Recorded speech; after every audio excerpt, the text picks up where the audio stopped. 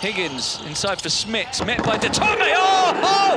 Roland Smits, that is a furious, ferocious slam dunk in the face of Gigi Datome. Sensational.